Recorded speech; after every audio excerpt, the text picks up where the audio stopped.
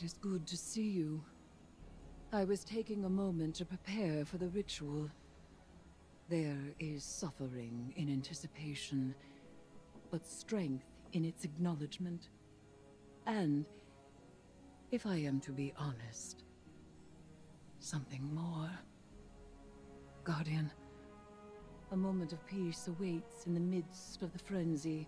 A moment born of ugliness and violence truly earned. It is justice. So I will step again into the ritual space and be consumed by the profane chitin.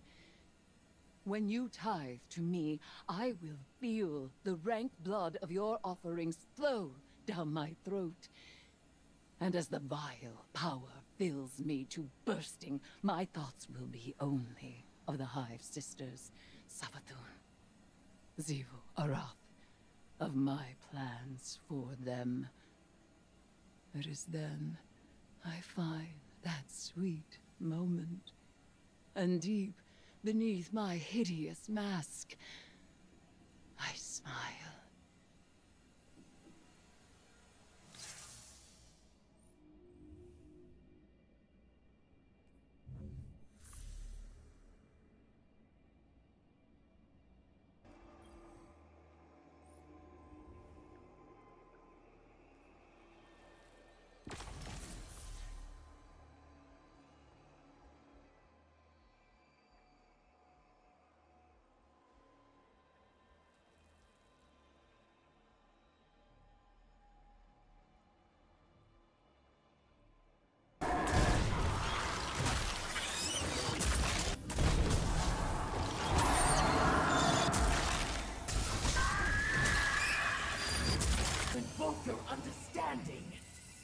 In your understanding, you invoke my brother.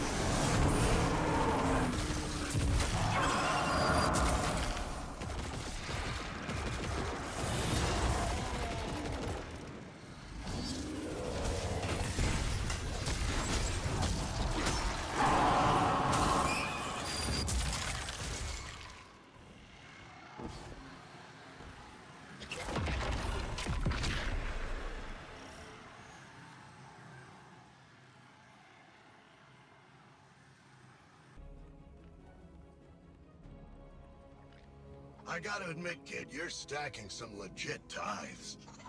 You got a real flair for brutality. Sword logic is an ironically blunt tool, easily wielded by even the dullest mind. Though I must admit, to be guided by such simple-mindedness is... liberating. And what's your grand purpose? Peace and unity?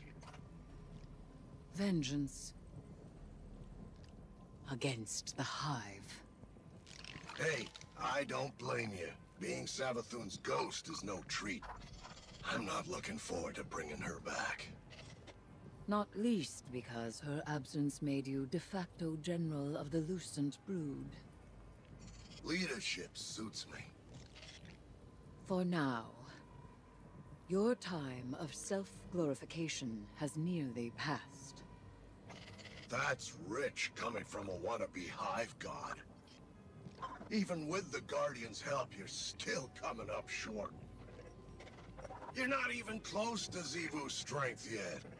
And you look like a screeb ready to pop.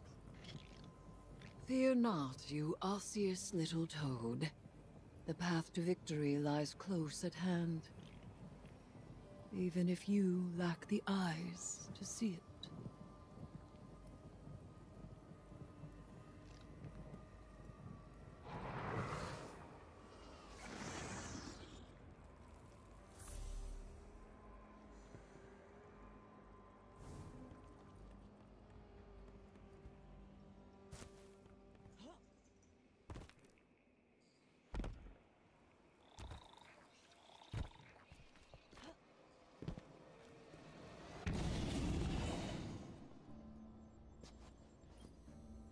Has to stop. Throwing yourself into danger is not going to solve our problem. We have to step back and find another way. You would put me in the library. And I would be so glad of it that I would never set foot outside its walls. But only I can stop Xivu Arath, and nothing is won by my complacency. Eris, this is too much for you.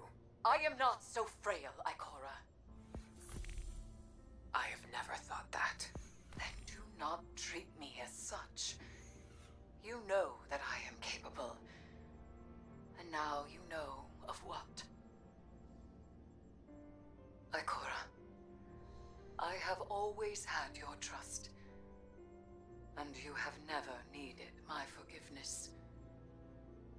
Now please, I ask for your support. Do you know what I see? A friend who takes risks because she doesn't want anyone else to. A friend who is too afraid to look away from disaster and thinks destroying herself is the only way to stop it. I held back when Savathun took the light. I allowed others to go in my stead and take the revenge I am owed. But I made a promise to myself. Would be her ruin. We both value action in times of loss. Let me act. Let me be who I am. I don't want you lost to this. Then help me finish it.